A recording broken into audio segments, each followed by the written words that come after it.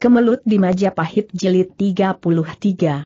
Lestari memandang wajah itu dan air mukanya membayangkan kelembutan, membayangkan rasa sayang penuh iba.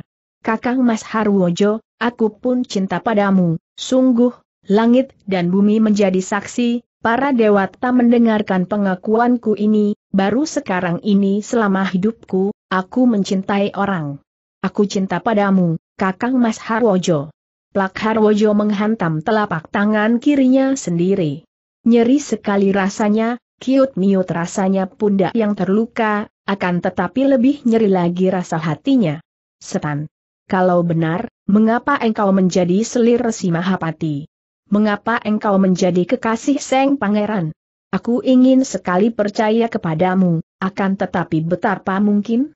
Tiba-tiba Lestari menangis menutupi mukanya tangis sungguh-sungguh, bukan seperti biasa kalau dia menangis di depan Resi Mahapati atau Seng Pangeran.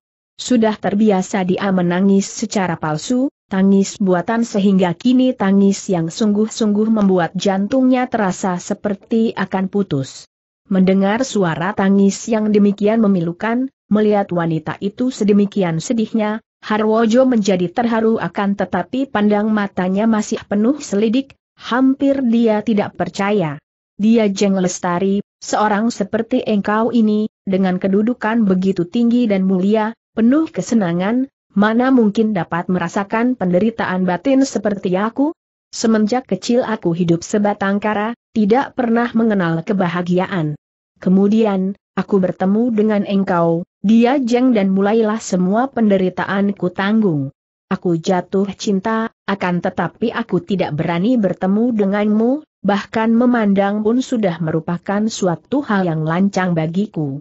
Engkau adalah selir terkasih dari Resi Mahapati, seorang yang berkudukan tinggi, dan engkau adalah kakak kandung dari Adimas Sutejo, ksatria yang memiliki kesaktian luar biasa.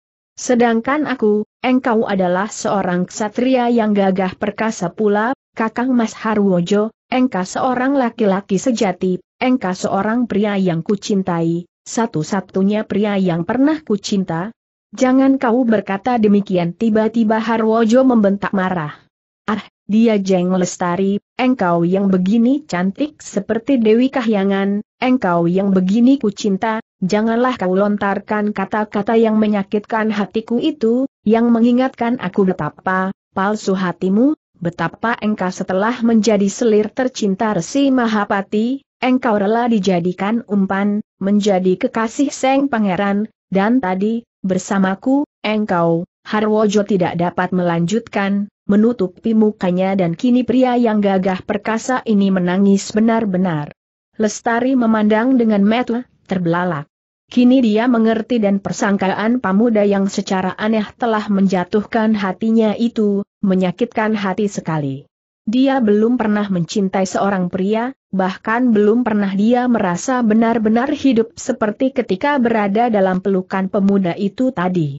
Belum pernah dia merasakan kesenangan sedemikian besarnya, yang membuat dia menangis dalam pelukan itu, yang membuat dia terheran-heran betapa berdekatan dengan seorang pria dapat membuat dia merasa betapa hidup ini seolah-olah berubah sama sekali, betapa segalanya nampak indah, segalanya terasa nikmat, semua terasa bahagia.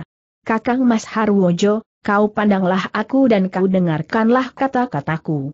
Aku bersumpah, Selama hidupku baru sekali ini aku mengeluarkan isi hatiku, aku mengakui keadaanku, ucapan itu dikeluarkan dengan penuh semangat sehingga Harwojo mengangkat mukanya yang basah air mata dan menjadi pucat sekali. Kini Lestari yang memegangi kedua pipi pemuda itu dan dengan mesra dikecupnya mulut pemuda itu, lalu berkata, dengarlah baik-baik. Jangan sekali-kali engkau mengira bahwa aku pernah merasakan cinta kasih, pernah merasakan kebahagiaan dengan pria lain. Sama sekali belum pernah dan baru tadi aku merasa benar-benar hidup, merasa benar-benar jatuh cinta hanya padamu seoranglah aku jatuh cinta, Kakang Mas. Kau tahu mengapa aku menjadi selir Resi Mahapati? Karena dendam. Aku dipaksa menjadi selirnya, dan aku lalu menyerah untuk dapat melampiaskan dendamku, dendam keluargaku. Kemudian, Kau tahu mengapa aku mau dijadikan umpan untuk menjadi kekasih Seng Pangeran? Karena keinginan mengejar kedudukan. Nah, sama sekali tidak ada cinta di situ. Aku muak. Kau tidak tahu betapa menderita batinku kalau aku terpaksa harus melayani Seng Resi dan Seng Pangeran. Aku ingin membunuh mereka karena benciku. Aku muak, aku mau muntah kalau mengingatnya, Kakang Mas. Harwojo memandang wajah wanita itu dengan alis berkerut, penuh kasih sayang dan penuh rasa iba.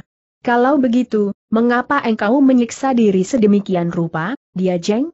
Mengapa masih kau kukui kedudukanmu itu kalau memang engkau tidak menemukan bahagia di situ apa dayaku, kakang mas? Apa pilihanku? Hanya tadi, setelah bertemu denganmu, setelah merasa betapa engkau benar-benar amat mencintaiku, setelah setelah tadi, aku tahu bahwa selama ini aku hidup seperti dalam alam mimpi, tidak melihat kenyataan.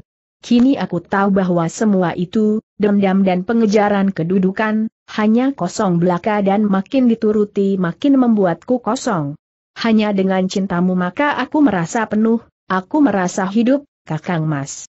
Karena itu, mari kita tinggalkan segala kepalsuan. Dan kekosongan itu, mari kita hidup bersama, jauh dari segala kericuhan ini, kau bawalah aku pergi, kakang mas, biar kita hidup miskin dan papa biar harus makan dua hari sekali, biar harus tinggal di gubuk dan memakai pakaian kasar, aku akan bekerja, aku akan melayanimu, aku akan membahagiakan hidupmu karena kebahagiaanmu berarti kebahagiaanku pula. Harwojo menggeleng kepala. Tidak, tidak. Tidak mungkin dia lalu meloncat turun dari pembaringan, mengenakan pakaiannya kembali dan berjalan hilir mudik di dalam pondok. Pikirannya kacau dan bingung sekali. Seperti kita ketahui, Harwojo ini pernah menjadi matu-matu Seng Ratu Sri Indreswari dan bertugas di Lumajang. Bersama dengan dengan Sulastri, Joko Handoko dan yang lain-lain, dia berhasil memasuki sayembara, lulus dan menjadi panglima. Dia menjadi matu-matu ini untuk menyelidiki tentang hilangnya keris pusaka kolonada. Kemudian, seperti telah diceritakan di depan, dia telah membantu Murwendo dan Murwanti menawan Joko Handoko dan Roro Kartiko yang dianggap sebagai anak-anak pemberontak yang patut dihukum, dan juga hal itu dilakukannya karena dia ingin agar orang kembar itu akan membantunya kelak dalam tugasnya mencari kolonada. Akan tetapi, Selain itu dia pun hendak mencegah gadis yang dikaguminya itu menjadi kaki tangan pemberontak Lumajang. Akan tetapi, ketika dia berhasil menawan Sulastri, muncul Sutejo yang mengalahkannya.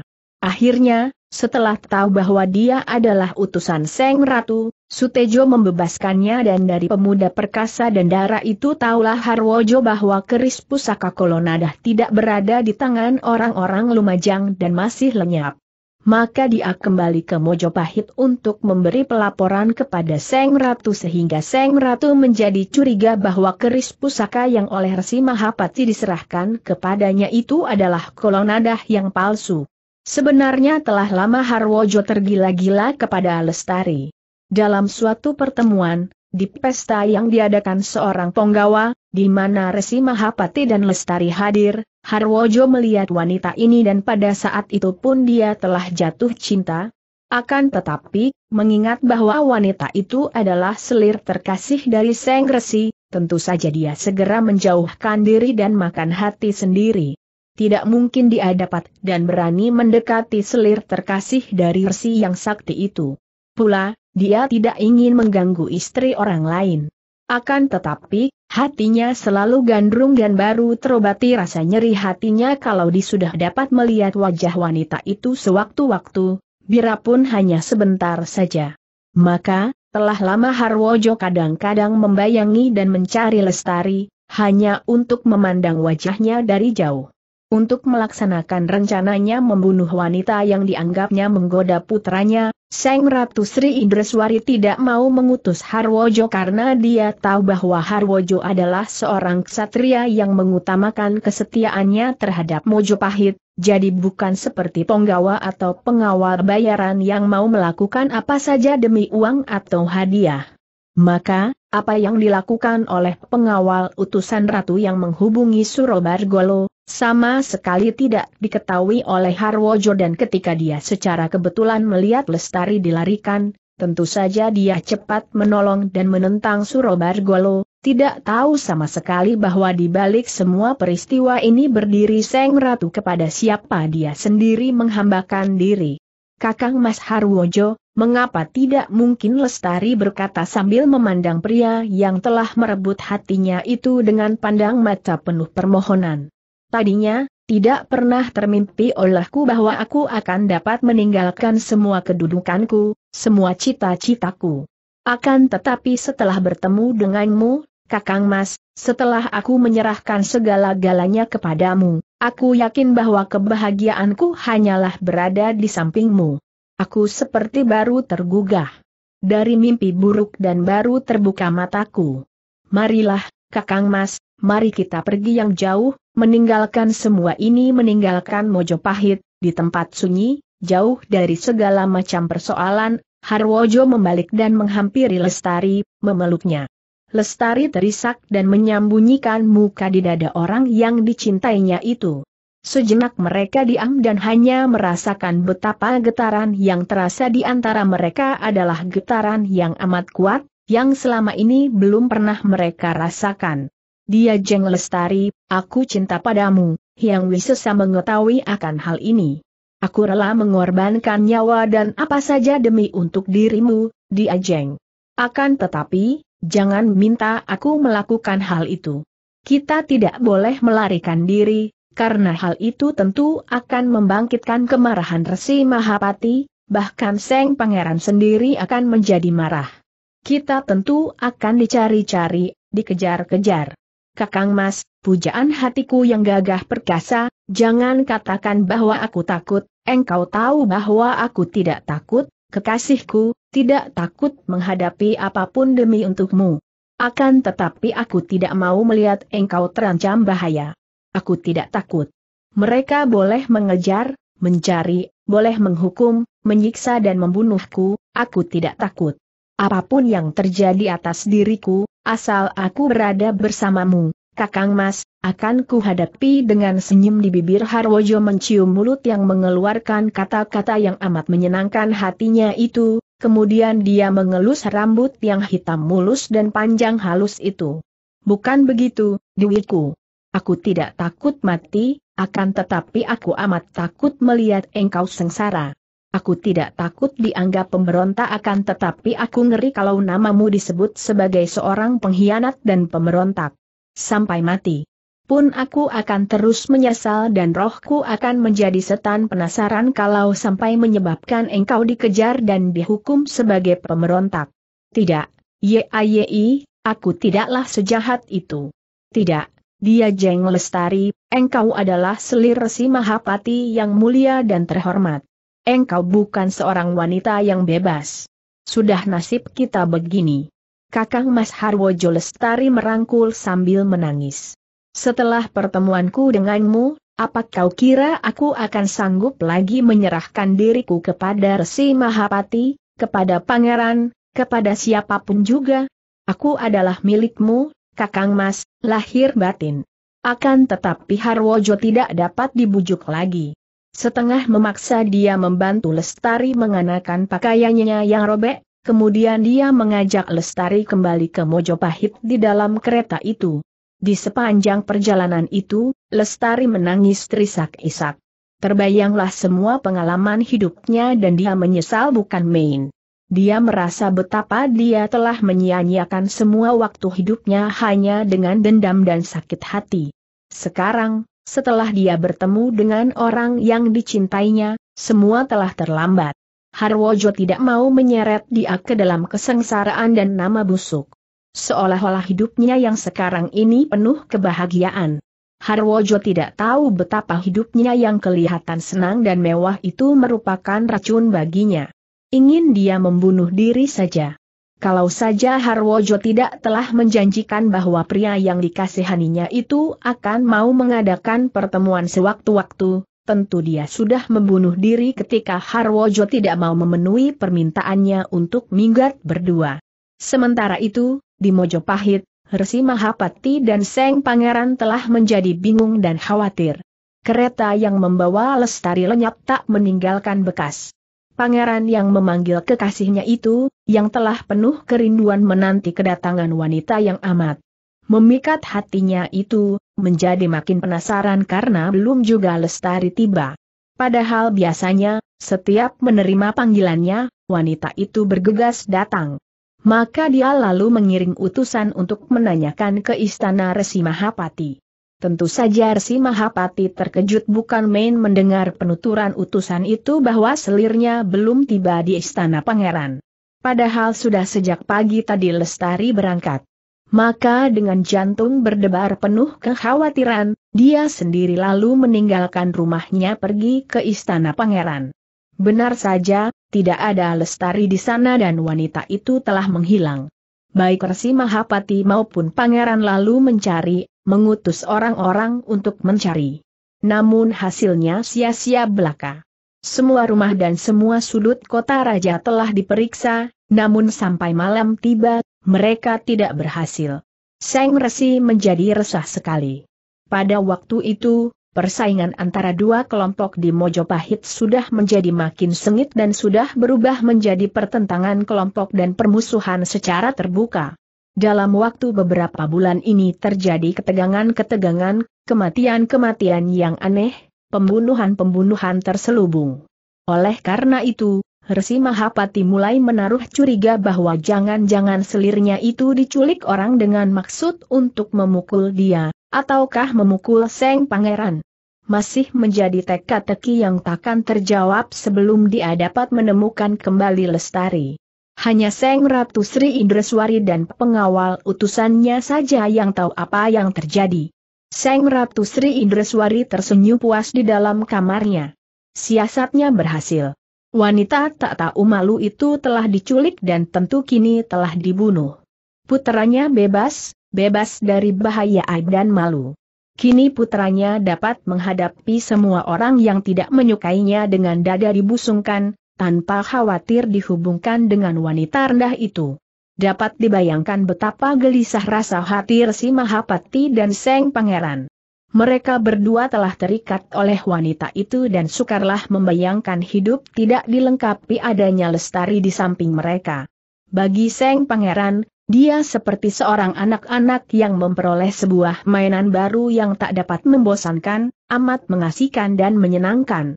Maka tentu saja dia menjadi gelisah dan murung, takut kalau sampai kehilangan mainan yang disenanginya itu. Resi Mahapati lebih parah lagi. Dia amat khawatir. Dia tidak hanya amat mencinta Lestari yang dianggapnya amat cinta dan patuh kepadanya, juga amat setia. Semua rahasianya telah diketahui belaka oleh wanita itu sehingga kalau sampai Lestari terjatuh ke tangan orang lain, apalagi kalau terjatuh ke tangan musuh, sungguh amat berbahaya baginya. Dan kini dia memperoleh dua macam kesenangan dari diri Lestari.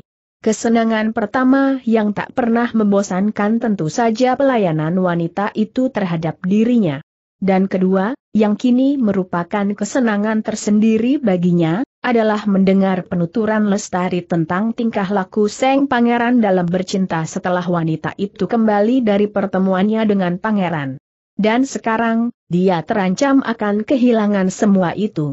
Tentu saja Resi Mahapti menjadi gelisah. Dia minta bantuan Resi Harimurti dan para jagoannya untuk mencari Lestari sampai dapat. Di lain pihak, Pangeran juga mengutus Ki Durga Kelana, Ki Warak Jinggo dan Ki Sarpo Kencono untuk mencari Lestari sampai dapat. Akan tetapi, pada keesokan harinya, pagi-pagi sekali ketika mereka sedang sibuk mengatur pasukan untuk mulai mencari keluar Mojopahit, mereka melihat kereta milik Resi Mahapati memasuki kota raja, dikusiri oleh Harwojo. Kereta itu langsung menuju ke rumah gedung Resi Mahapati dan berhenti di depan pekarangan depan. Harwojo dengan sigapnya lalu meloncat turun, membuka pintu kereta. Tirai tersingkap dan Lestari muncul dari dalam kereta, langsung lari memasuki rumah itu sambil menangis. Resi Mahapati dan Seng Pangeran yang sepagi itu sudah berada pula di situ, menegur, akan tetapi Lestari tidak memperdulikan sama sekali kepada mereka, langsung saja lari menangis memasuki kamarnya. Resi Mahapati terkejut bukan main. Belum pernah Lestari bersikap seperti itu terhadapnya, apalagi terhadap Seng Pangeran yang hadir di situ. Seolah-olah dia dan Pangeran tidak dianggap apa-apa oleh Lestari. Resi Mahapati sudah melangkah ke depan menyambut Harwojo. Pemuda itu kelihatan murung dan tenang. Anak Mas Harwojo. Apa yang telah terjadi? Bagaimana Andika dapat membawanya pulang tanya Resi Mahapati dan Seng Pangeran juga berlari keluar. Melihat Seng Pangeran berada pula di situ, hati Harwojo seperti ditusuk rasanya. Lestari telah menjadi permainan dua orang laki-laki ini. Resi Mahapati yang tak tahu malu, yang menjual selirnya kepada Seng Pangeran demi untuk mencari kedudukan dan untuk menjilat Seng Pangeran. Dan Seng Pangeran, orang muda yang tak tahu malu, yang mau saja menerima hubungan itu di depan Mater si Mahapati. Dan betapa Lestari merasa tersiksa harus melayani dua orang pria yang sama sekali tidak dicintanya. Kalau menurutkan hasrat hatinya, ingin rasanya dan menyerang dan membunuh dua orang pria yang telah menyiksa batin kekasihnya itu. Akan tetapi Harwojo tahu diri, dia cepat berlutut dan menyembah ketika melihat Seng Pangeran. Ahaha, kiranya Kakang Harwojo. Bagaimana engkau dapat membawa Lestari pulang, Kakang Harwojo? Ke mana saja dia pergi kalimat terakhir ini mengandung kecurigaan dan cemburu besar, dan sepasang metu seng pangeran ditujukan kepada Harwojo dengan tajam. Maaf, apakah boleh hamba bercerita di dalam saja jawab Harwojo ketika melihat betapa banyak orang penggawa dan pengawal merubung pendopo itu untuk melihat kembalinya. Lestari dan apa yang sebenarnya terjadi. Juga mereka ingin sekali tahu ke mana perginya Darumuko yang tadinya mengusiri kereta itu. Resi Mahapati maklum bahwa tentu telah terjadi sesuatu yang amat hebat, maka dia lalu mengangguk dan mempersilakan Seng Pangeran memasuki ruangan dalam, diikuti oleh dia dan Harwojo. Setelah tiba di dalam, Resi Mahapati mempersilakan Seng Pangeran duduk, dan Harwojo yang agak pucat mukanya juga dipersilakan duduk. Nah, sekarang ceritakan, apa yang telah terjadi tanya lagi Seng Pangeran dengan tidak sabar dan matanya berkali-kali menengok ke dalam di mana Lestari tadi lari memasuki kamarnya.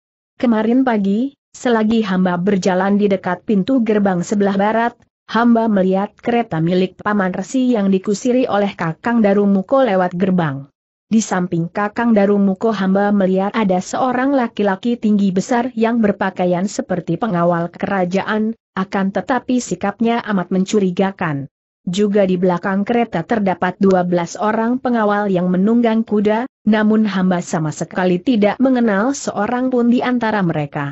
Kecurigaan hamba makin keras, maka hamba lalu mencoba untuk mengejar kereta itu, Harwojo berhenti sebentar sedangkan dua orang pendengarnya mendengarkan penuh perhatian. Karena kereta itu dan para penunggang kuda itu melarikan kuda amat cepat, sedangkan hamba hanya berjalan kaki, maka hamba tertinggal jauh. Hamba tetap mengejar dan akhirnya hamba melihat bekas tapak roda kereta memasuki hutan. Tentu saja hamba makin curiga dan terus mengikuti jejak roda kereta itu. Akhirnya dari jauh hamba melihat kereta itu di tengah hutan, apa yang terjadi? Siapa mereka Resi Mahapati bertanya dengan keinginan tahu yang memuncak. Ketika hamba tiba di sana, kata Harwojo yang menunjukkan cerita itu kepada Seng Pangeran maka sikapnya masih terus menghormat. Hamba melihat Kakang Darumuko telah rebah dan tewas, ahaha Risi Mahapati berseru dan mengepal tinju saking marahnya mendengar betapa orang kepercayaannya itu tewas. Teruskan, teruskan Seng Pangeran mendesak, makin tertarik. Selain Kakang Darumuko yang sudah menggeletak tak bernyawa, di situ terdapat belasan orang kasar itu, sedangkan kepalanya yang bernama Surobargolo berada di dalam pondok bersama, bersama di, eh, bersama selir paduka, Paman Resi Harwojo masih ingat untuk mengurungkan sebutan di Ajeng terhadap Lestari. Lalu bagaimana? Apa yang dilakukan oleh si keparat jahanam itu Seng Pangeran bertanya dengan mata terbelalak dan di dalam hati Harwojo terasa kenyerian yang membuat dia muak. Selir orang yang terancam malapetaka, Seng pangeran ini yang kebingungan seperti monyet kebakaran jenggot. Tidak apa-apa, atau belum, Gusti. Memang keparat itu hendak melakukan perbuatan terkutuk terhadap di, terhadap selir paman resi, akan tetapi hamba keburu datang dan mencegah perbuatannya itu. Hamba bertempur melawan dia dan akhirnya hamba berhasil membunuh Surobargolo, hem, si kaparat. Sayang engkau telah membunuhnya, Harwojo. Kalau tidak, tanganku sendiri yang akan mencokel keluar sepasang matanya, merobek dadanya dan mencabut keluar jantungnya, memecahkan kepalanya dan mengorek keluar letaknya Resi Mahapati berteriak, marah sungguh-sungguh. Bagus, Harwojo, bagus sekali engkau telah dapat membunuhnya. Haha, aku pasti akan memberi hadiah besar kepadamu, Kakang Harwojo Seng Pangeran berkata sambil tersenyum girang, puas dan lega hatinya mendengar bahwa kekasihnya selamat nyawanya, juga selamat pula kehormatannya. Harwojo menghaturkan terima kasih dengan sembah. Di dalam batinnya terjadi perang hebat. Di satu pihak, dia adalah seorang hamba yang setia dari Mojopahit, dan dia harus menjunjung tinggi Seng Pangeran Pati yang menjadi sesembahannya setelah Seng Prabu dan Seng Ratu Sri Indreswari. Akan tetapi di pihak lain dia melihat pangeran ini sebagai seorang di antara pria yang telah menyiksa batin kekasihnya. Anak Mas Harwojo, aku pun amat berterima kasih kepadamu. Lalu, bagaimana selanjutnya? Ya, bagaimana lanjutannya? Harwojo Seng Pangeran bertanya pula dengan suara halus dan ramah, suara seorang yang berterima kasih. Anak buah Suro Bargolo lalu mengeroyok hamba. Akan tetapi hamba berhasil membunuh beberapa orang di antara mereka dan mereka lalu melarikan diri sambil membawa mayat Suro Bargolo dan teman-teman mereka, ah, kenapa tidak kau bunuh semua atau kau tangkap seorang di antara mereka? Hidup-hidup Resi Mahapati bertanya. Kita harus mengetahui siapa yang menyuruh mereka. Pasti ada yang menyuruh, kalau tidak, masa mereka berani memusuhi aku? Hamba tidak dapat, hamba terluka parah dan hamba terus pingsan, kata Harwojo sambil menundukkan mukanya. Kini Resi Mahapati menggunakan pandang matanya yang waspada, memandang wajah orang muda itu. Hem. Agaknya Andika terkena pukulan yang ampuh, anak Mas Harwojo. Jangan khawatir, Aku akan mengobatimu, terima kasih, Paman Resi. Tidak perlu kiranya, sudah hampir sembuh. Memang hamba terkena pukulan ampuh dari senjata kolor Surobargolo, tiba-tiba Seng Pangeran berseru heran, akan tetapi bukankah peristiwa itu terjadi kemarin pagi? Lalu kemarin siang, sore dan malam tadi, mengapa kau tidak segera mengajak pulang Lestari? Mendengar pertanyaan pangeran ini, Resi Mahapati juga memandang penuh kecurigaan. Harwojo menundukkan mukanya. Sukar baginya untuk menjawab. Semalam, dia bermain cinta dengan Lestari. Apa yang harus dijawabnya? Pada saat itu, terdengar suara Lestari, Kakang Mas Resi Mahapati. Gusti Pangeran. Harwojo telah mempertaruhkan nyawa untuk hamba, akan tetapi mengapa Paduka sekalian masih mencurigainya? Tiga orang itu memandang dan melihat Lestari muncul dari pintu dalam. Dia telah berganti pakaian bersih dan indah. Rambut yang disisir rapi dan biarpun wajahnya masih agak pucat, matanya sayu, metu orang yang kurang tidur, namun dia sudah kelihatan segar kembali. Tadi dia diam-diam mendengarkan dari balik pintu dan mendengar pangeran mendesak Harwojo dan bersikap mencurigai, dia cepat muncul dan mengeluarkan kata-kata itu. Dia hampir mati oleh luka-lukanya, pundaknya robek berdarah kena senjata, dia nyaris mati dan baru tadi pagi tadi dia sadar dari pingsannya terus mengantar hamba pulang. Kalau tidak ada dia, entah apa saja jadinya dengan hamba Seng Pangeran bangkit dari tempat duduknya, melihat sinar matanya dan gerak-geriknya, ingin sekali dia menghampiri. Lestari. Kalau tidak ada orang lain di situ, tentu sudah ditubruknya wanita itu. Akan tetapi dia malu terhadap Harwojo, maka dia duduk kembali. Hamba, hamba luka parah, pukulan kolor itu amat dahsyat, hamba terluka di sebelah dalam dada, dan bacokan golok melukai pundak hamba, harap ampunkan hamba yang tidak dapat mengantarnya kemarin, dia rebah pingsan, hampir mati, mana bisa mengantar hamba lestari berkata lagi. Resi Mahapati mengangguk-angguk. Sungguh besar jasamu, anak Mas Harwojo. Kami berterima kasih sekali. Kau pulanglah, Harwojo, dan nanti akan kukirim hadiah untukmu, kata pangeran. Harwojo menghaturkan terima kasih menyembah dan mengundurkan diri tanpa berani melirik ke arah Lestari. Seng pangeran juga berpamit dan berpesan agar setelah lenyap kagetnya, Lestari suka datang ke istananya. Untuk menceritakan semua pengalamannya yang hebat itu, kata Seng Pangeran.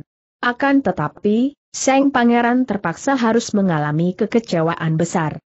Semenjak terjadinya peristiwa penculikan atas dirinya itu, Lestari tidak pernah lagi memenuhi panggilannya. Ada saja alasan yang dikemukakan oleh Lestari, sedang tidak enak badan dan sebagainya.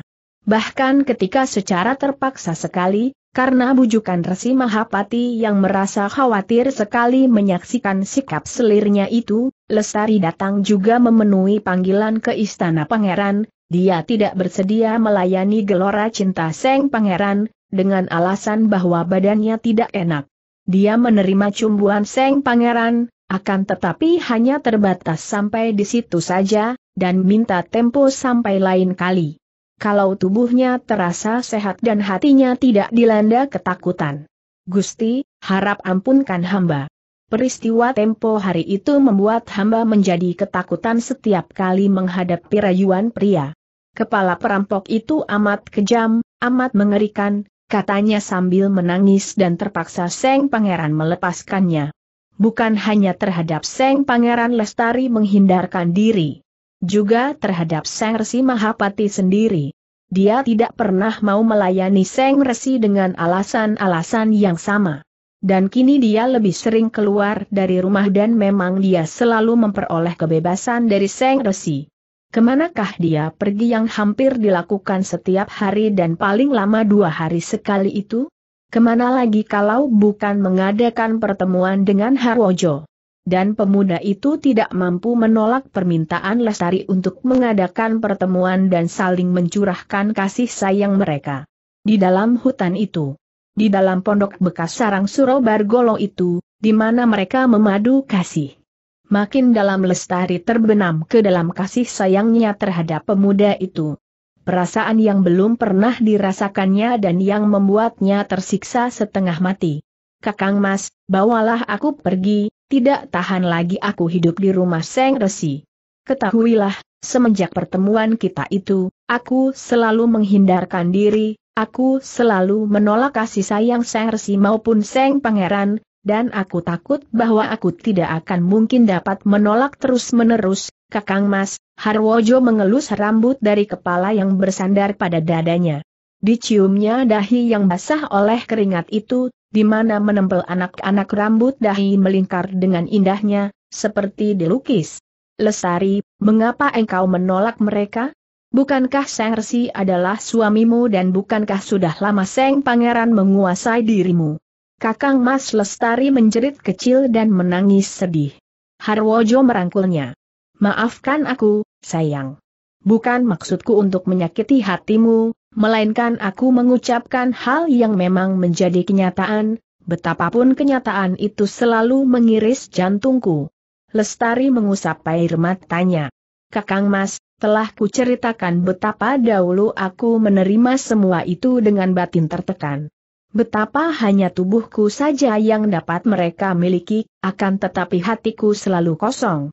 Kemudian, setelah aku bertemu denganmu, Kakang Mas, setelah aku menyerahkan badan dan hatiku kepadamu seorang, betapa mungkin lagi aku dapat melayani mereka atau siapa pun juga di dunia ini?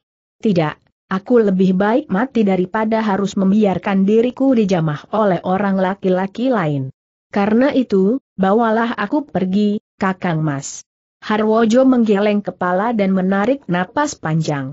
Sukar bagiku untuk mengkhianati Mojopahit, dia jeng. Dan kalau aku membawamu pergi, melarikanmu, sudah pasti sekali aku akan dianggap sebagai seorang pengkhianat dan pemberontak, aku tidak takut bentak Lestari. Aku pun tidak takut, dia jeng, aku tidak takut akan hukuman. Akan tetapi aku ngeri membayangkan bahwa aku telah menjadi pengkhianat dan pemberontak. Tidak, aku mau mati untukmu, akan tetapi jangan minta aku menjadi pengkhianat. Biarlah kita menyambung hubungan cinta kita sementara ini secara begini, sayang, akan tetapi engkau tidak tahu betapa hebat penderitaanku setelah aku harus berpisah darimu, setelah aku harus kembali ke rumah Seng Resi. Dan setiap waktu terancam bahaya. Aku tidak sudi lagi dijamah Seng Resi atau Seng Pangeran. Kakang Mas, kasihanilah diriku. Aku cinta padamu, dia jeng, akan tetapi hal itu tidak mungkin, kalau begitu, dekaplah aku, peluklah aku sampai mati lestari memeluk kekasihnya dan sambil menangis dan merintih dia dan Harwojo kembali saling mencurahkan cinta mereka dengan penuh kemesraan. Matahari telah condong ke barat ketika keduanya terdengar bicara lagi, setelah untuk waktu yang agaknya tanpa batas itu mereka terlena setengah tidur dan setengah sadar, dalam ketenangan dan kedamaian yang amat nikmat sehingga mereka lupa akan diri, lupa akan keadaan, lupa akan waktu dan lupa segalanya. Nimas, hari telah sore. Engkau harus kembali, kata Harwojo, suaranya mengandung penuh perasaan sesal dan duka, seperti yang selalu dirasakannya kalau dia harus berpisah dengan kekasihnya itu biarpun hampir setiap hari dia dapat mengadakan pertemuan asik dan masuk dengan Lestari. Apa? Hem Lestari menutupi mulutnya untuk menahan kuat dan kantuk. Sudah sore, ah, biar saja, Kakang Mas, dia malah merangkul leher dan membenamkan mukanya di samping dada Harwojo. Eh, sudah menjelang senja, jangan sampai kemalaman engkau pulang, Harwojo mencoba hendak bangun, akan tetapi Lestari mempererat dekapannya, bahkan dia menarik leher pemuda itu dan mencium dengan penuh kemesraan. Perasaan sayang yang amat besar datang mengakun, memenuhi dada Harwojo dan dia pun balas merangkul dan kembali keduanya tenggelam ke dalam buayan kasih sayang.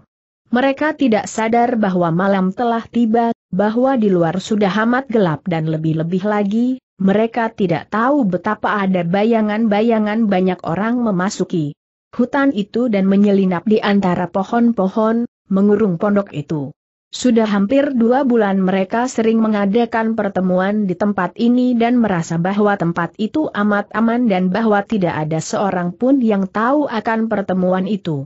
Mereka tidak tahu bahwa peristiwa pulangnya lestari dari hutan, Lolosnya wanita ini dari malapetaka dan dari cengkeraman maut di tangan Surobargolo dan anak buahnya, disambut dengan tangan terkepal dan mata bersinar marah oleh Seng Ratu Sri Indreswari.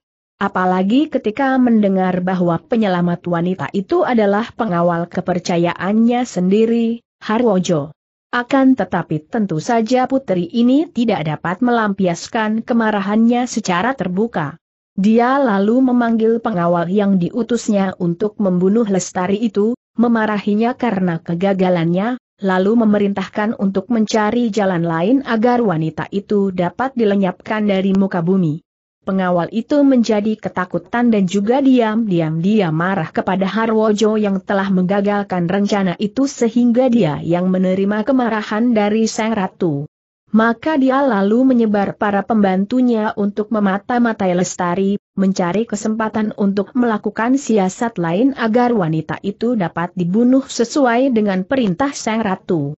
Dan ketika kaki tangannya membayangi Lestari itu, dengan sendirinya mereka melihat pertemuan-pertemuan mesra yang diadakan oleh Lestari dan Harwojo.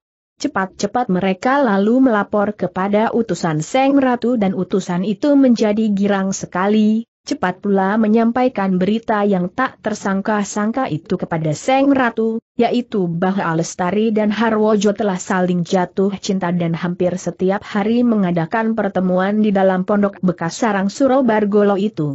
Ah, begitu ya Seng Ratu Sri Indreswari mengosok-gosok kedua tangannya dengan girang sekali. Bagus, kalau begitu.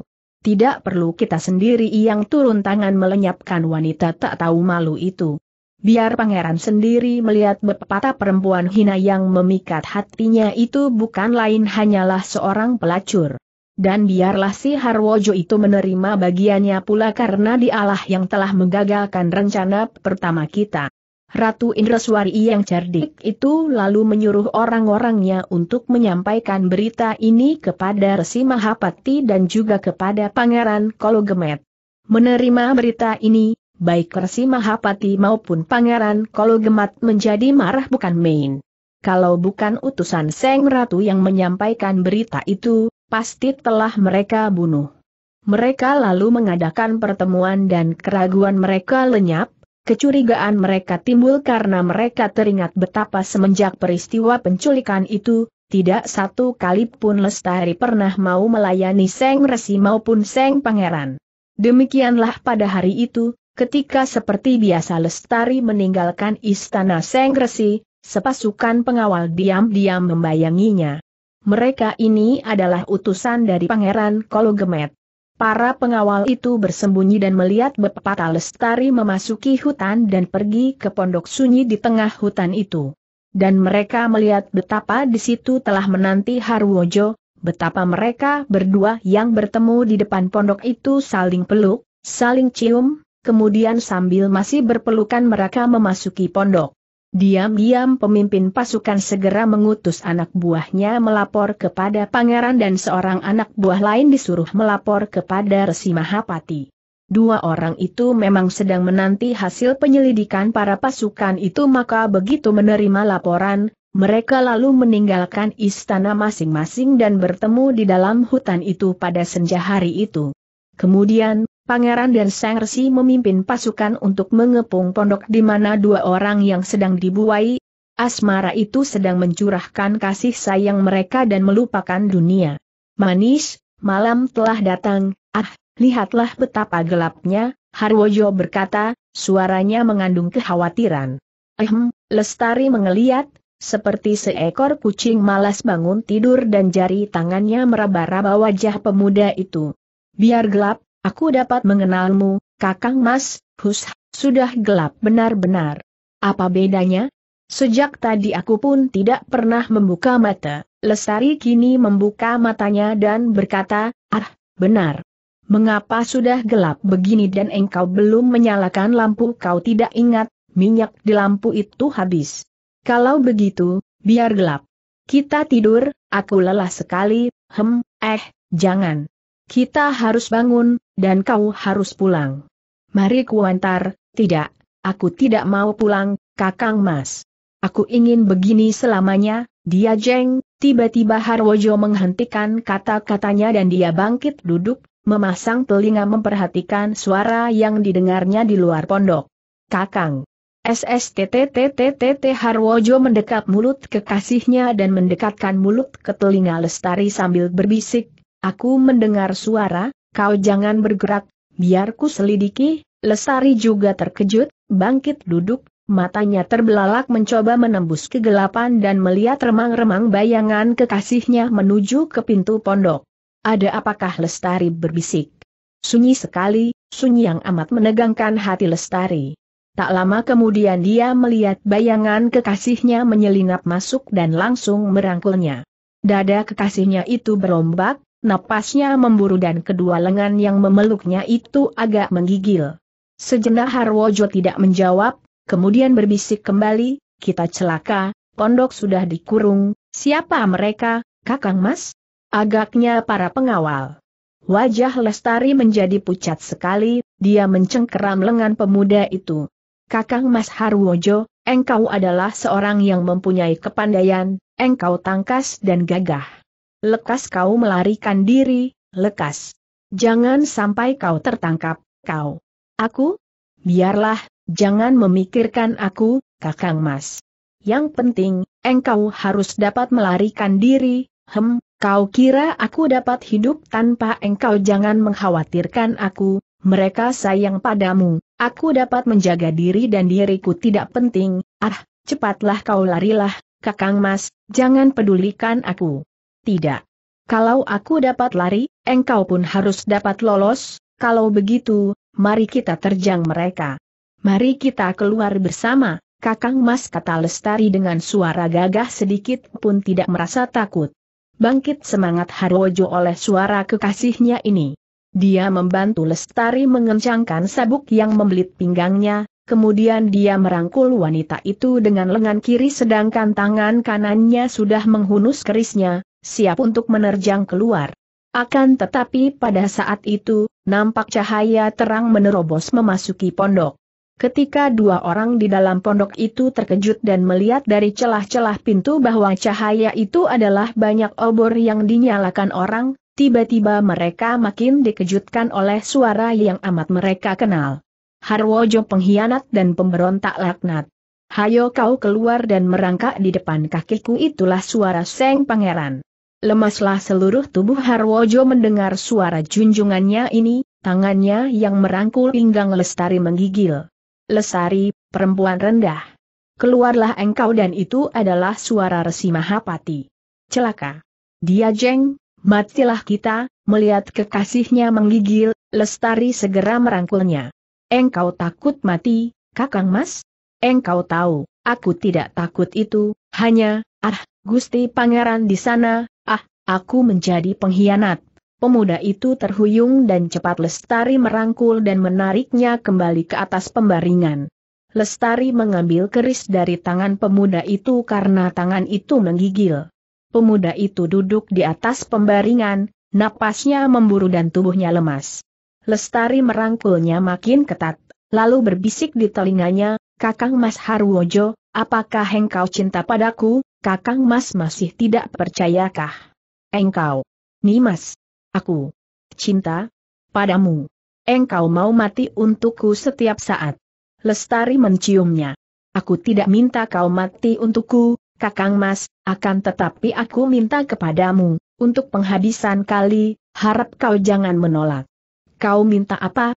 Asal jangan menyuruh aku memberontak terhadap Gusti Pangeran.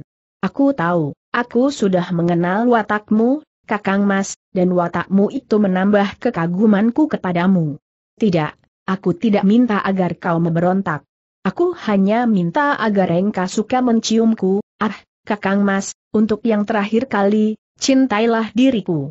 Lestari sudah merangkul dan memaksa Harwojo rebah di atas pembaringan, menciumnya dan membelainya, tanpa memberi kesempatan kepada Harwojo untuk membantah lagi. Dan Harwojo maklum bahwa pada saat terakhir itu, di mana keduanya pasti akan ditangkap, pasti akan saling berpisah, mungkin akan dihukum mati, kekasihnya ingin agar dia membuktikan cinta kasihnya. Maka dia pun mengusir semua pikiran, merangkul wanita yang dicintainya itu sepenuh perasaan hatinya. Di luar Seng Pangeran dan Seng Resi membentak-bentak menyuruh dua orang itu keluar dan menyerahkan diri. Akan tetapi, Lesari dan Harwojo tidak memperdulikan, bahkan tidak mendengar suara mereka. Terdengar Lesari terisak, merintih lalu merangkul ketat. Harwojo terkejut, merasa dadanya basah. Dia meraba dadanya, meraba dada kekasihnya dan dia hampir menjerit. Di situ, di antara sepasang bukit dada keris tadi, menancap sampai basah itu adalah darah yang kekasihnya itu. Tengah-tengah dada lestari, di itu, tepat di ulu hati menancap ke gagangnya. Dan yang basah masih mengalir keluar dari dada. Dia jeng dia berbisik, lehernya seperti dicekik rasanya. Lestari merintih lirih. Aku rela mati. Kakang Mas, aku mati dalam keadaan bahagia dan puas, aku, aku telah membuang semua dendam dan cita-cita, aku mati dalam cinta, ah, aku, aku mati bahagia, Kakang Mas, ah! Dia jeng lestari kini Harwojo menjerit, suaranya menyeramkan, terdengar sampai keluar pondok. Resi Mahapati menyerbu ke dalam, menendang pintu pondok sampai roboh.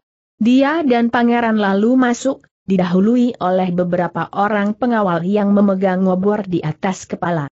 Banyak obor menerangi dalam pondok.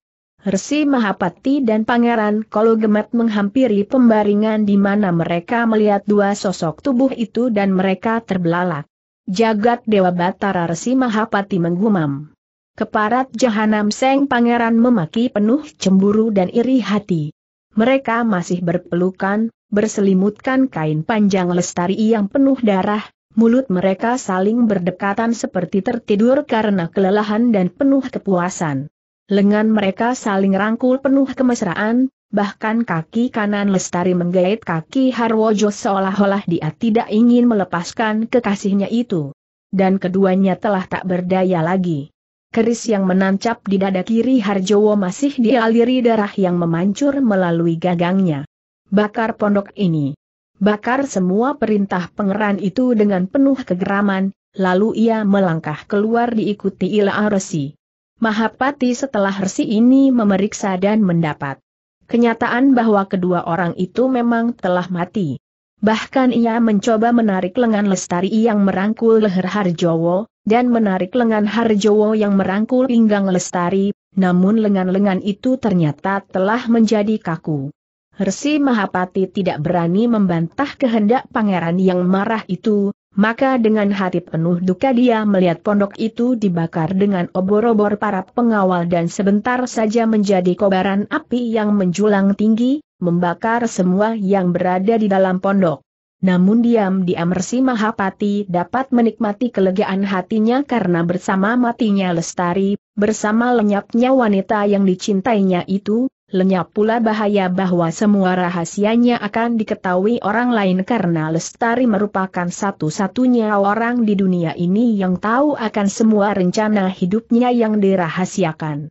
Pada saat api berkobar membakar pondok di mana terdapat jenazah Harwojo dan Lestari itu, tiba-tiba datang sepasukan pengawal utusan dari istana yang membawa kabar bagi Seng Pangeran penyata bahwa penyakit yang diderita oleh Seng Prabu Kertarejasa Jayawardana menjadi makin berat dan kini keadaan Sri Baginda menjadi gawat sehingga para istri beliau perlu untuk memberitahu kepada seluruh keluarga dan tentu saja Seng Pangeran Pati merupakan orang pertama yang diberitahu dan dipanggil oleh ibu kandungnya. Mendengar berita dan panggilan ini, Seng Pangeran terkejut dan cepat dia meninggalkan tempat itu diiringkan para pengawal menuju langsung ke istana kerajaan Mojopahit. Sedangkan Resi Mahapati juga cepat pergi meninggalkan hutan itu setelah meninggalkan pesan kepada beberapa orang pengawal untuk melanjutkan dan menjaga pembakaran pondok dan dua buah jenazah itu sampai habis. Hatinya berdebar tegang. Saat yang dinanti-nantinya agaknya telah mendekat. Seng Prabu Kertarejasa Jayawardana sakit gawat. Akan tetapi ketika tiba di dalam gedungnya, Resi Mahapati merasakan sesuatu kekosongan yang mencekam hatinya. Kekosongan hidup tanpa adanya lestari di sampingnya. Ketika dia memasuki kamarnya, melihat pembaringan di mana biasanya lestari menyambutnya dengan kedua lengan terbuka dan senyum menggairahkan, Seng Resi mengeluarkan keluhan lirih dan menjatuhkan diri menelungkup di atas pembaringan itu. Sudah terlalu kuat dia mengikatkan diri kepada wanita itu sehingga kehilangan yang tiba-tiba ini amat berat dirasakannya.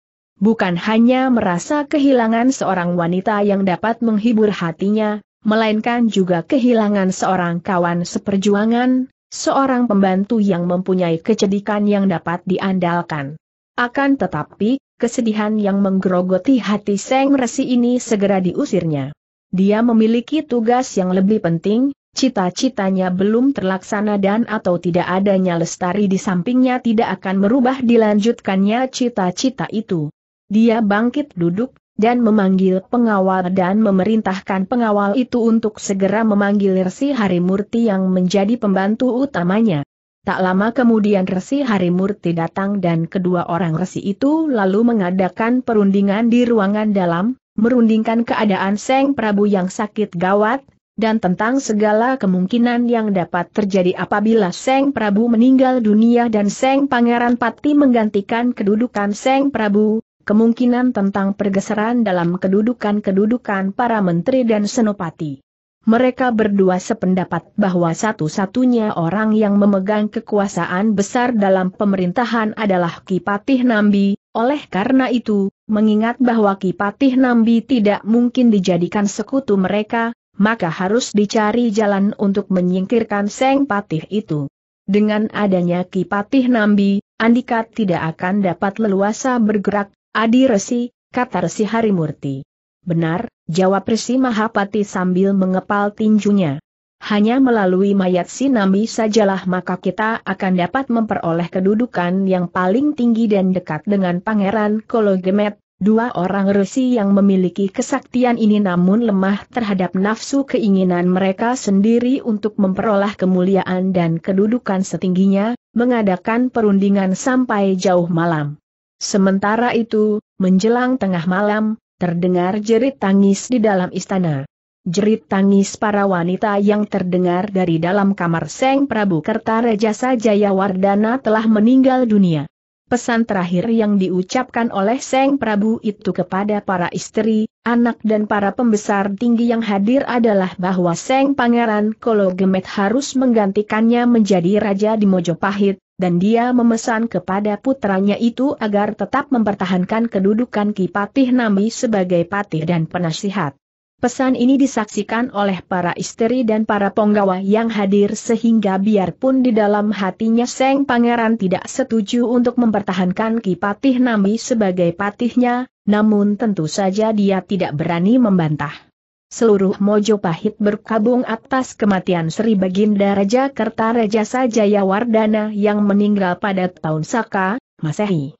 Jenazahnya dimakamkan di dalam sebuah pura yang dinamakan Antahpura dan sebagai peringatan didirikanlah arca jina di dalam pura dan arca Sang Batara Siwa di samping, baka tentang peristiwa ini dalam buku menuju puncak kemegahan, Sejarah Kerajaan Mojopahit tulisan Profesor Dr. Slamet Mulyono yang mengomentari tentang catatan-catatan dalam Kidung Ronggolawe, Kidung Sorandaka, Pararaton, Negara Kertagama dan lain-lain, dari mana catatan sejarah dalam cerita ini diambil, akan tetapi di dalam perkabungan itu, terdapat pula banyak orang bergembira karena pengangkatan Pangeran Patikolo Gemet menjadi Raja Mojopahit menggantikan Seng Prabu Kertarejasa Jayawardana telah mendatangkan keuntungan bagi mereka. Mereka adalah para penggawa yang tetap dalam kedudukan mereka, dan penggawa-penggawa baru yang diangkat atas pilihan Seng Pangeran dan tentu saja atas nasihat ibundanya, yaitu Sri Indreswari yang kini menjadi Ibu Suri. Tentu saja banyak pula yang merasa kecewa, yaitu mereka yang tidak tercapai cita-citanya. Di antara mereka yang kecewa ini terdapat Resi Mahapati. Biarpun dia masih menjadi orang yang dipercaya oleh Seng Pangeran dan ibundanya, namun kedudukan yang diidam-idamkannya, yaitu menjadi patih, tidak dapat terlaksana oleh karena Ki Patih Nambi masih tetap menjadi patih, sesuai dengan pesan terakhir dari Seng Prabu yang telah meninggal dunia itu. Pangeran Kologemet kini menjadi raja di Mojopahit dengan julukan Seng Prabu Jaya Nagara. Tentu saja, Pengangkatan ini menimbulkan pertentangan yang diam-diam terjadi di antara keluarga kerajaan dan juga di antara para pembesar. Para pembesar yang tua, mereka yang setia kepada darah keturunan Seng Prabu Kertanegara, diam-diam menentang pengangkatan Pangeran Kologemet menjadi Raja Mojopahit. Bagi mereka ini, Raja yang sekarang diangkat ini bukanlah merupakan keturunan murni dari Seng Prabu Kertanegara, melainkan keturunan yang bercampur dengan darah negara Melayu. Dan hal ini benar-benar tak dapat mereka terima dengan senang hati. Di samping itu, para penggawa yang setia kepada darah keturunan murni dari Prabu Kertanegara tentu saja mengharapkan agar Raja di Mojopahit adalah keturunan dari empat orang ratu yang lain, yaitu Seng Permaisuri sendiri, Dia Tribuana, atau tiga orang saudaranya, yaitu Diah Nara Indra Duhita, Diah Gayatri atau Diah Jaya Indra Dewi. Keturunan keempat orang putri ini sajalah yang menurut mereka patut menduduki Mojopahit dan menjadi sesembahan mereka, bukan keturunan putri dari Melayu. Setelah Seng Prabu Jaya Negara naik tahta, segera raja yang muda ini, atas nasihat dan desakan ibu dannya, Seng Ibu Suri, mulai menjalankan pembersihan di kalangan penggawa dan senopati. Mereka yang dianggap berbahaya dan tidak setia terhadap kelompok mereka, segera digeser kedudukan mereka, bahkan banyak yang dibebas tugaskan. Maka terjadilah geger akibat tindakan Seng Prabu Jaya Negara ini. Pemerintahan dilakukan dengan tangan besi dan siapa menentang tentu dibasmi. Hal ini tentu saja membuat Kipatih Nambi merasa bingung dan gelisah sekali. Hanya berkat kebijaksanaan Kipatih Nambi saja maka tindakan Seng Prabu yang masih muda itu tidak sampai berlarut-larut. Dengan berani Kipatih Nambi berusaha melunakkan perintah Seng Prabu dan karena Kipatih Nambi masih diakui dan pengangkatannya merupakan pesan terakhir dari mendiang Seng Prabu Kertaraja Sajayawardana, maka Seng Prabu yang muda itu tidak berani menekannya. Betapapun juga, semenjak Seng Prabu Jayanagara naik tahta, Ki Patih ini mengalami guncangan-guncangan batin yang hebat sehingga tubuhnya menjadi kurus dan dia kelihatan lebih tua daripada usianya. Dan harus diakui bahwa tanpa adanya Ki Patih Nambi yang bijaksana, agaknya perang saudara sudah pecah di Mojopahit setelah kematian Seng Prabu Kertarajasa, perang saudara memperebutkan kekuasaan. Namun pengaruh dam kewibawaan Kipatih Nambi masih terasa sehingga dialah yang dapat meredakan semua kemarahan dan dapat memadamkan api sebelum berkobar. Betapapun juga, selalu terasa adanya ketegangan-ketegangan di Mojopahit, dan agaknya Mojopahit masih belum terhindar dari kemelut yang masih selalu mengancamnya semenjak terjadinya pemberontakan Adipati Ronggolawe. Atas usul Kipatih Nambi pula, yang amat bijaksana dan yang ingin mencegah terjadinya pecah perang saudara yang pecah karena perebutan kekuasaan dari para keturunan raja dan juga atas persetujuan Ibu Suri Sri Indreswari, akhirnya dua orang puteri dari istri-istri mendiang Seng Prabu, keturunan dari Seng Prabu Kertanegara, oleh Seng Prabu Jayanagara diberi kedudukan. Yaitu, puteri dari Permaisuri, Diah Tribuana, yang bernama Putri Tribuawana Tunggal Dewi, diangkat menjadi Rani Ayatu Ratu di Kahuripan. Sedangkan yang kedua adalah Raja Dewi Maharajasa, putri dari Seng Diah Gayatri yang diangkatnya menjadi Rani atau Ratu di Daha. Gelar atau julukan bagi kedua orang putri ini adalah Breng Kahuripan dan Breng Daha. Biarpun dengan cara demikian Kipatih Nambi berhasil agak meredakan rasa penasaran, namun betapapun juga, Kauripan dan Daha masih berada di dalam kekuasaan Mojopahit, dan Seng Prabu Jayanagara dengan jelas sekali memperlihatkan kekuasaannya yang mutlak atas kedudukan kedua orang saudara tirinya itu. Ibu Suri Sri Indreswari juga mempunyai banyak penasihat dan kaki tangan, di antara mereka terdapat pula Resi Mahapati yang dalam hal ini bertindak secara tidak resmi menjadi penasihatnya, melainkan hanya bertindak seolah-olah menjadi orang penengah, padahal Resi Mahapati inilah yang paling banyak memberi nasihat dan siasat kepada Sri Indreswari yang masih mengendalikan putranya yang muda. Putraku, kita harus melanjutkan cita-cita Kanjeng Ramamu yang ingin melihat Mojopahit tidak sampai terpecah belah, pada suatu hari Ibu Suri berkata kepada Seng Prabu Jayanagara, dan hal itu baru dapat terlaksana kalau di antara keluarga keturunan Kanjeng Ramamu tidak sampai terpecah. Belah. Aku mendengar bahwa saudara-saudaramu yang menjadi rani di Kahuripan dan Daha, oleh ibu kandung masing-masing akan ditunangkan dengan orang lain. Hal ini berbahaya sekali, putraku, karena kalau sampai ada orang lain yang menjadi suami mereka duduk di samping mereka, banyak terdapat bahaya perpecahan karena mereka tentu akan berdiri sendiri, dan kalau sampai Mojopahit terpecah belah, hal itu amat berbahaya. Mendengar ini, Seng Prabu Jaya Nagara lalu cepat-cepat menemui dua orang saudara tirinya itu, dan dengan terang-terangan dia melarang mereka itu dijodohkan dengan dua orang lain dan menuntut agar rencana pertunangan itu dibatalkan. Tentu saja dia Tribuana dan dia Gaya terima membantah. Perjodohan anak-anak kami berada sepenuhnya dalam tanggung jawab dan kewajiban kami yang menjadi ibu-ibunya, kata dia Gayatri yang lebih berani karena sesungguhnya dia Gayatri inilah yang menjadi kekasih mendiang Seng Prabu Kertarajasa sebelum beliau tergila-gila kepada putri Melayu dia Darapeta atau Sri Indreswari yang kini menjadi Ibu Suri. Tidak demikian, Kanjeng Ibu. Kalau Paduka dan Putri Paduka itu bukan termasuk keluarga kerajaan kita, tentu saja sepenuhnya berada di tangan Paduka berdua yang menjadi ibu-ibu mereka. Akan tetapi, kedua orang putri paduka itu adalah keluarga kerajaan. maka perasaan pribadi harus dikorbankan demi kebaikan keluarga kerajaan. Semua keluarga harus tunduk kepada peraturan kerajaan, dan sayalah yang berkuasa menentukan siapa-siapa yang boleh menjadi suami mereka. Saya melakukan ini pun bukan karena kepentingan pribadi, melainkan demi keutuhan kerajaan Mojopahit betapapun mereka membantah, Seng Prabu Jayanagara akhirnya menang dan dua orang putri itu tidak jadi ditunangkan. Hal ini tentu saja menimbulkan perasaan tidak senang dan penasaran di kalangan mereka yang mendukung keturunan Raja Kertanegara. Terdengarlah desas-desus bahwa Seng Prabu Jayanagara melakukan perbuatan yang tidak senonoh terhadap kedua orang putri yang menjadi saudara tirinya tunggal ayah lain ibu itu, bahwa Seng Prabu Jayanagara melarang perjodohan mereka karena Seng Prabu sendiri ingin memperistri mereka. Memang tuduhan semacam itu tidaklah terlalu berlebihan mengingat akan watak Seng Prabu yang masih muda dan yang terkenal suka mengejar wanita cantik itu.